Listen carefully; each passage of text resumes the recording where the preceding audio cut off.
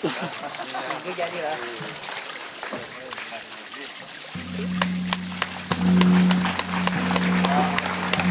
6 Mei kemarin Gubernur HM Sani secara resmi membuka lomba kompetensi siswa SMK ke-9 tingkat Kepulauan Riau di Kabupaten Karimun.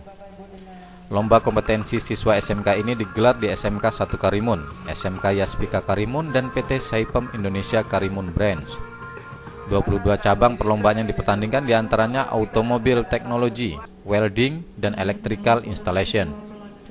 Peserta yang mengikuti lomba selama 4 hari ini berjumlah sebanyak 82 peserta dari siswa-siswi SMK seprovinsi Kepri.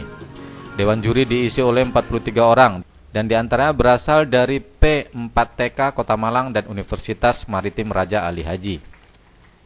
M. Sani dalam sambutannya menyatakan tanpa pendidikan yang baik bangsa dan negara tidak akan maju. Sebab itu pemerintah dari tingkat pusat dan kabupaten kota berdasarkan undang-undang harus menyediakan dana 20% dari APBD yang dimiliki.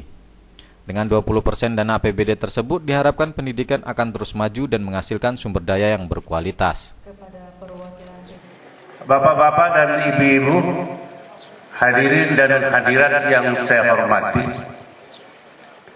berbicara masalah pendidikan, saya pikir kita semua sepakat tanpa pendidikan yang baik, saya pikir tentunya kita tidak akan maju. Baik diri sendiri masyarakat bangsa dan negara yang kita cintai.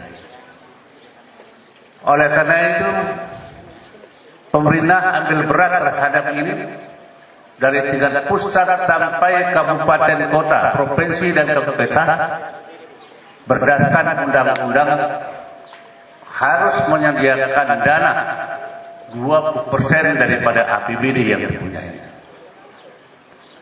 Dengan 20% itulah diharapkan bahwa dunia pendidikan akan terus maju karena pada akhirnya sumber daya manusia yang berkualitas lah yang akan menentukan maju mundurnya suatu bangsa. Tidak jauh-jauh kalau kita melihat, kita melirik saja tidak usah melihat Singapura tidak punya sumber daya alam apa pun. Tetapi dia mempunyai sumber daya manusia yang berkualitas.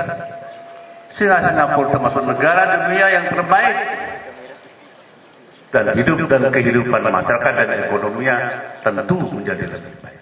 Pembukaan lomba kompetisi siswa SMK yang ke-9 ini juga disertai dengan pemberian baju pelindung secara simbolis dan penandatangan MOU Nota Kesepahaman tentang penyelenggaraan pendidikan sistem ganda dan penyerahan paket pengelasan kepada SMKN 1 Karimun dari PT SAIKB Saipem Indonesia Karimun Branch.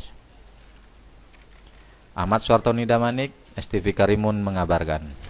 Dan selanjutnya SMK Negeri 1 Karimun dengan asli motor 3 Karimun.